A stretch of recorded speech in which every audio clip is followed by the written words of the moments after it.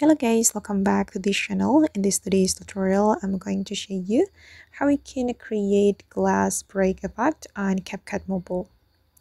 Okay, let's get into it guys. I have created a project on my CapCut mobile application and I'm going to create glass break effect for this video.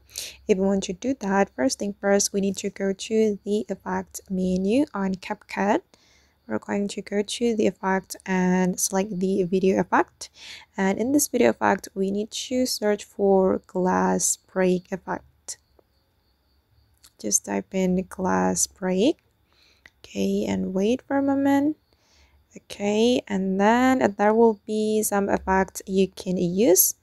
Um, I'm going to select this one glass break.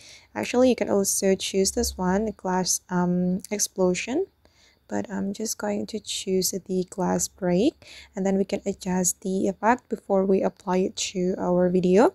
We can adjust the speed and also the atmosphere but I'm just going to leave it like that and I'm going to go back and click on the check mark and you can adjust the effect.